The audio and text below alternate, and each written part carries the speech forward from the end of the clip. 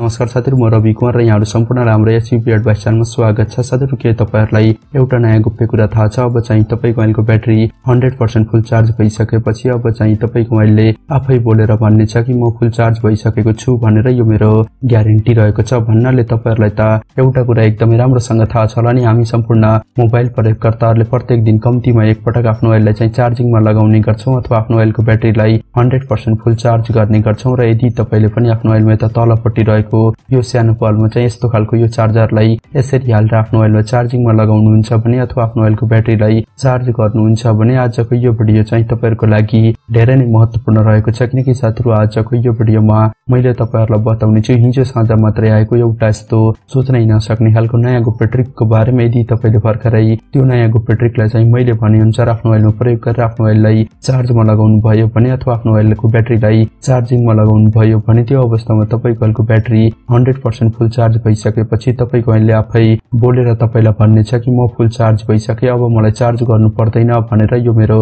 Guarantee रहेको छ। यदि तपाईँले पनि आफ्नो मोबाइलको ब्याट्री फुल चार्ज भइसकेपछि आफ्नो मोबाइलले आफै बोलेर आफूलाई भन्ने बनाउन कसरी सकिन्छ भन्ने कुरा जान्न चाहनुहुन्छ भने यो भिडियोको तलपट्टि रहेको यो लाइकको बटनमा एकचोटि टच गर्नुहोस् र त्यसपछि यता साइडमा रहेको यो रातो सब्सक्राइब बटनमा एकचोटि टच गर्नुहोस् र सँगसँगै आएको यो घन्टीको आइकनमा पनि एकचोटि टच गरेर यहाँनिर यो अल भन्ने अप्सनमा क्लिक गर्नु होला अथवा टच गर्नु होला र त्यसपछि अब चाहिँ तपाईँले यहाँनिर तलपट्टि देख्न सक्नुहुन्छ एउटा बक्स रहेको छ। तपाईँले चाहिँ यो बक्समा टच गरेर यहाँनिर लेख्नुपर्ने हुन्छ।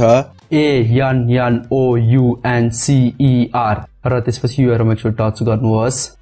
ल त सुरु गरौँ साथीहरू आफ्नो मोबाइलको battery hundred percent full charge भइसकेपछि आफ्नो मोबाइलले आफै बोलेर म फुल चार्ज भइसकेको छु भन्ने कुरा बनाउने तरिका जान्नको लागि तपाईँले आजको यो भिडियोलाई एक सेकेन्ड पनि स्किप नगरिकन अन्तिमसम्म हेर्नु होला र त्यसपछि अब चाहिँ तपाईँले यहाँनिर के गर्नुहोस् भन्दाखेरि तपाईँले आफ्नो मोबाइलमा रहेको यो प्ले स्टोरलाई यहाँनिर टच गरेर ओपन गर्नुहोस् र त्यसपछि अब चाहिँ तपाईँले यहाँनिर देख्न सक्नुहुन्छ यो एप्लिकेसनको नाम रहेको छ फुल ब्याट्री चार्जिङ अलार्म यो एप्लिकेसनलाई चाहिँ तपाईँहरू सम्पूर्णले आफ्नो मोबाइलमा इन्स्टल गर्नु होला मैले अलरेडी इन्स्टल गरिसकेको छु। त्यसै कारणले गर्दा म चाहिँ यसलाई डाइरेक्ट ओपन गर्छु। ओपन गरेर त्यसपछि अब चाहिँ तपाईँले यहाँनिर देख्न सक्नुहुन्छ। इनेबल अलार्म लेखेको छ। तपाईँले यसमा एकचोटि टच गरेर यहाँनिर ओके गर्नुहोस् र त्यसपछि अब चाहिँ तपाईँले यहाँनिर फेरि ओके गर्नु होला र त्यसपछि अब चाहिँ तपाईँको एउटा स्थानीय प्रकारको सेटिङ ओपन हुनेछ र त्यसपछि अब चाहिँ तपाईँले यहाँनिर माथिपट्टि देख्न सक्नुहुन्छ। एउटा सेटिङको आइकन रहेको छ। तपाईँले यसमा एकचोटि टच गर्नुहोस् र त्यसपछि अब चाहिँ तपाईँले यहाँनिर देख्न सक्नुहुन्छ। रिङटोन लेखेको छ। तपाईँले यसमा टच गरेर यहाँनिर के गर्नुहोस् भन्दाखेरि तपाईँले यहाँनिर एउटा काम गर्नुपर्ने छ। त्यो काम के रहेको छ भन्दाखेरि तपाईँले आफ्नो मोबाइलमा रहेको यो भोइस रेकर्डरलाई ओपन गरेर यहाँनिर के गर्नुहोस् भन्दाखेरि म फुल चार्ज भइसकेको छु। अब मलाई चार्ज गर्नु पर्दैन अथवा